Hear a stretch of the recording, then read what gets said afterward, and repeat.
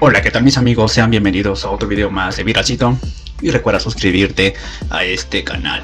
No cabe duda que fue uno de los mejores partidos para México, ya que el día de hoy la selección azteca femenil está participando en la Copa Oro 2024, con doblete de Lisbeth Valle a los 31 y 69 y culminando con Cari Luna a los 49.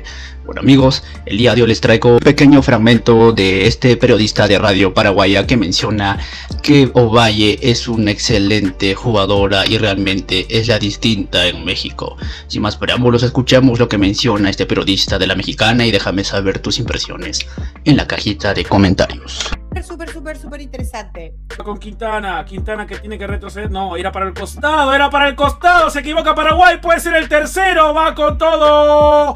La general, aparece la arquera, apareció Bobadilla, Ovalle, gol. Se equivoca Paraguay y esto es falta de jerarquía, falta de cabeza.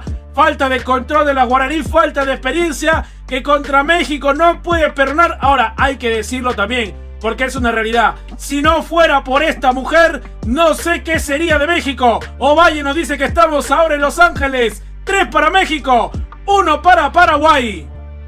La general estuvo mal y la maga estuvo espectacular. O sea, eh, Mayor tendría que haber metido un, globito, una cosita ahí, la pateó al muñeco. Chicó bien. Bobadilla pero le pateó al muñeco. Y la maga que la cruzó. Mirá, mira cómo la fue a buscar. Aparte, mirá, le, le, pegó con la diestra. No, es medio equipo. Y le pegó con la diestra a la maga. No, es espectacular lo que acaba de hacer. Es medio equipo, Valle. Ovalle no, Ovalle es MVP del torneo. Para mí, Ovalle es MVP del torneo. MVP del torneo.